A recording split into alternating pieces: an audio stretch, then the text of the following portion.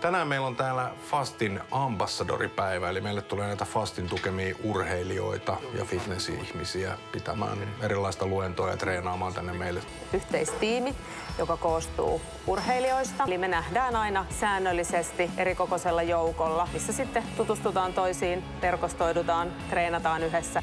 Ihmiset seuraa tietysti toisiaan sosiaalisessa mediassa, mutta se, että he tapaa kasvatusta, niin se on aina eri asia.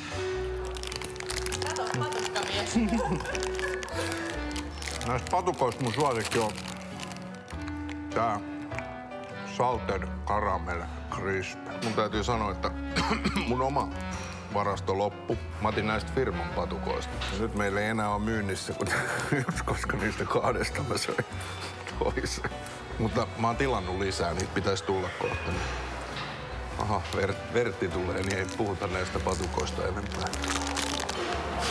Miskan ja Fastin patukoiden suhde, sehän on niin kuin tosi kiinteä. Lyhyessäkin ajassa heistä on tullut tosi läheisiä.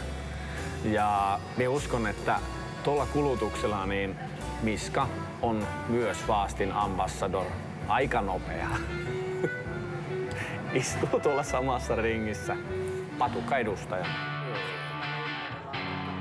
Päivän saldo oli tosi hyvä. Oli hieno nähdä, että oli hyvin porukkaa. Oikeastaan kaikki ilmeisesti, ketä Fasti oli kutsunut näistä ambassadoreista, niin saapu paikalle. Hyvä, että ihmiset tykkää. Ja toivottavasti sitten tykkää niin paljon, että tulee sitten käymään myös uudestaan omalla ajallakin. Sehän olisi niin kuin paras mahdollinen tilanne.